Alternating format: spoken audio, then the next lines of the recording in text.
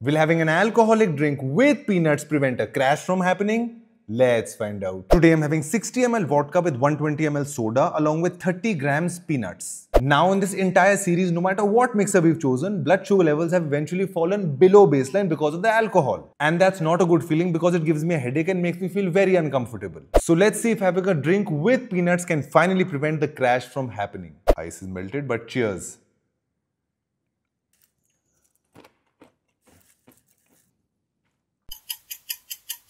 Okay, let's see what my glucose monitor says. Minus 14 mg? This means that peanuts did not help enough because my blood sugar levels clearly still fell below baseline. In fact, this is similar to when I had a vodka soda on its own without eating anything where the fall was minus 13 mg. Although I have to say that I felt the best when I had a drink with peanuts and that amazingly can be seen in the shape of the graphs also. If you see the plain vodka soda graph, I had my drink at 4 and for the next 3 hours my blood sugar levels fell continuously until I ate something. And that's why I experienced low blood sugar symptoms like a headache, irritability and hunger throughout this time. Whereas here my blood sugar fell initially and then it somewhat stabilized because of the peanuts. I guess this is why they say not to drink on an empty stomach and to at least snack on something while drinking. And clearly a little bit of peanuts do help but they're not enough. We need to be having something more substantial.